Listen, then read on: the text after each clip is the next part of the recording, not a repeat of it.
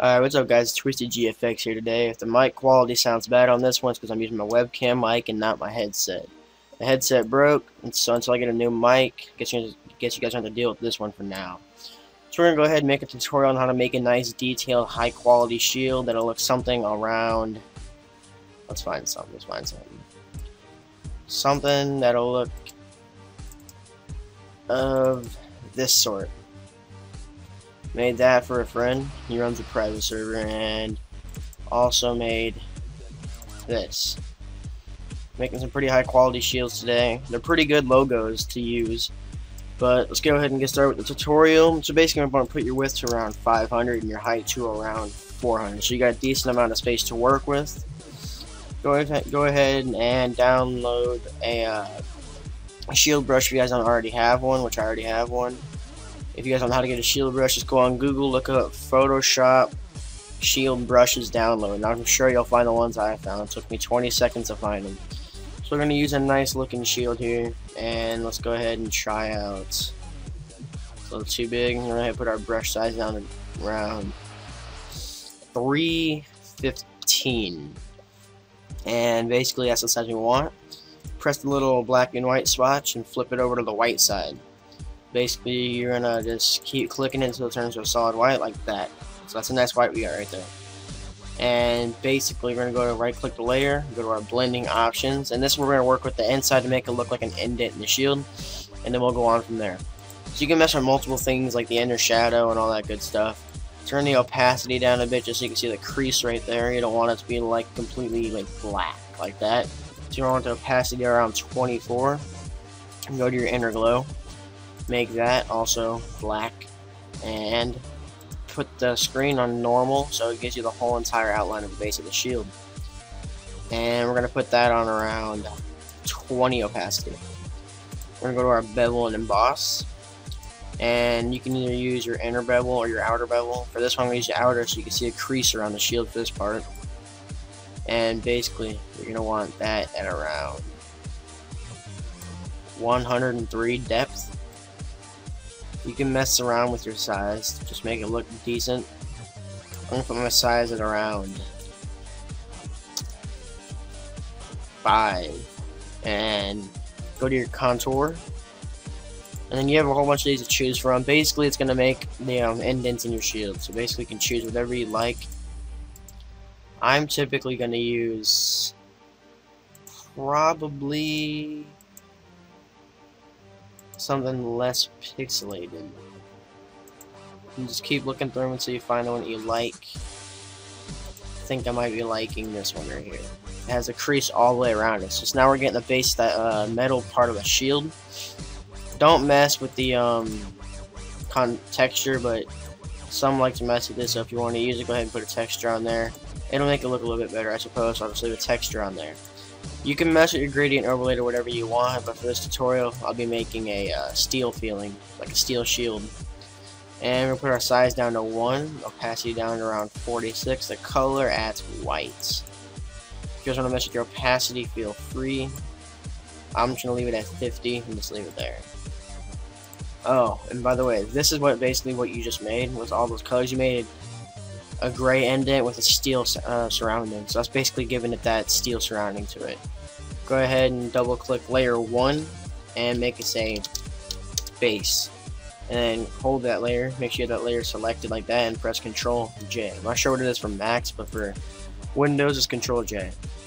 Basically, now you can start messing with more stuff in here and I'm to loosen it up a little bit to 33. You can mess with your inner glow if you want. Go to your uh, bevel and emboss. Go to your inner bevel, and basically you can mess around with the stuff in here. turn off the texture, by the way. This stuff's basically going to give you your colors.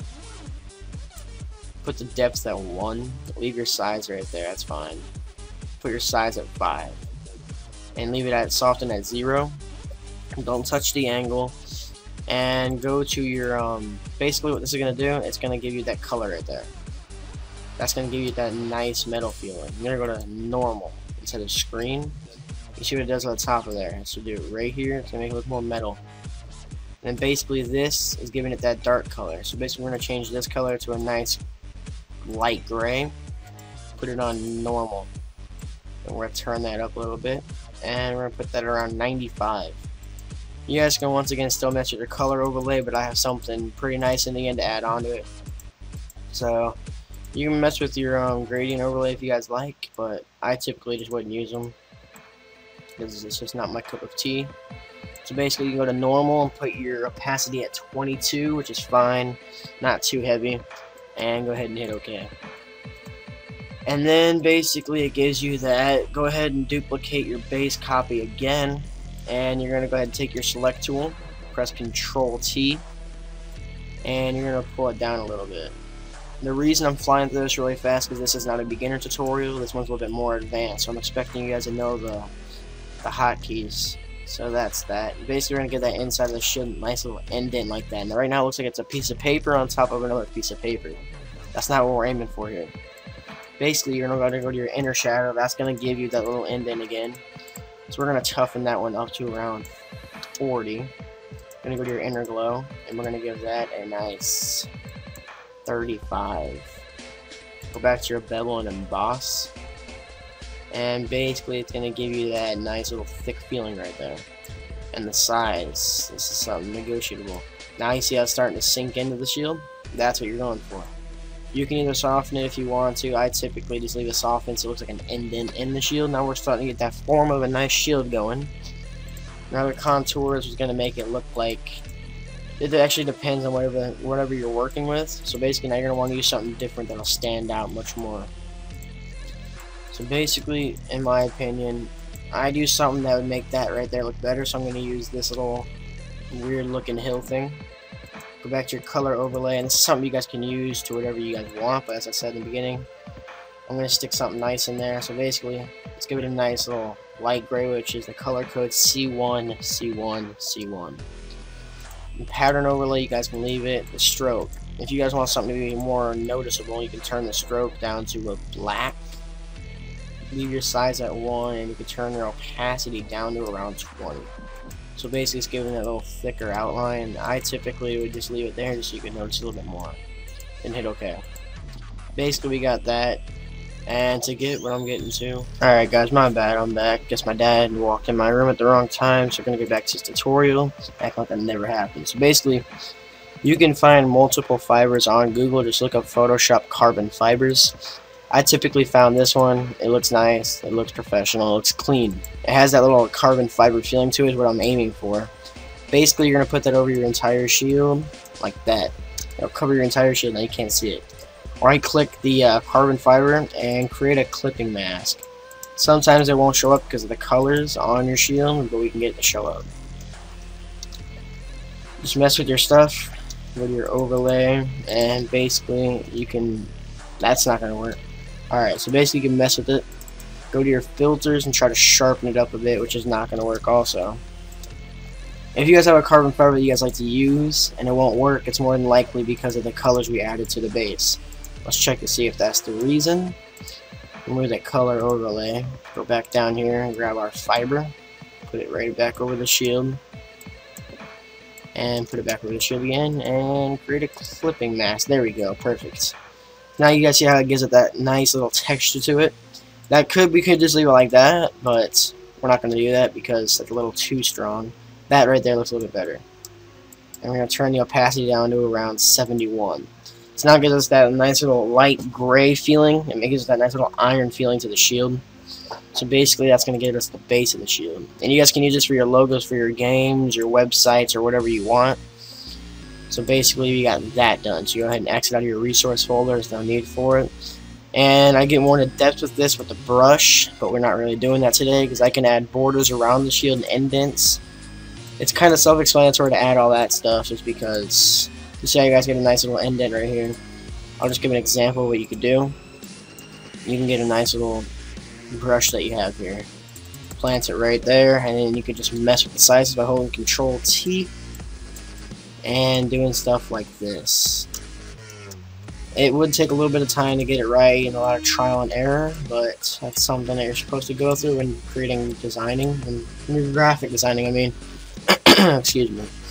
And basically you can work with your shield, which is pretty simple to do.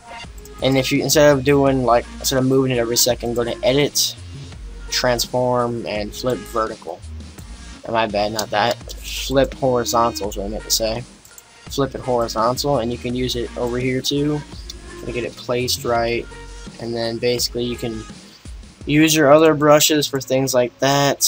And just keep messing around with it. Basically what you can just do. It's gonna. It does rely on creativity in order to do this. It's not something you can just throw together within minutes. I'm just gonna plant another one down there, and we want to arc it to the point where it looks like it's gonna connect with each other. So I guess we can leave that part right there and right there. It's gonna require a lot of erasing like that, and then really erasing stuff like that right there. And once again, stuff right there too. You just gotta get it to look right, and basically you can get the out basis of your shield with the brush. So for the sake of the time being in this video, we're going to go ahead and stop right here. So basically you got yourself a nice little HD render.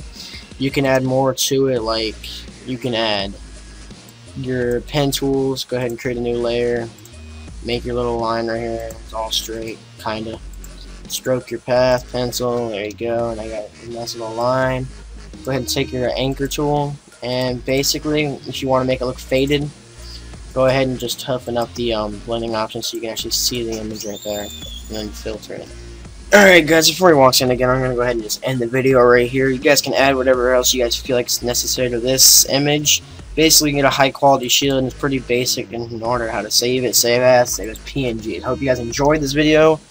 Go ahead and drop a like and subscribe, and I'll try to make a video every few days. See you guys later.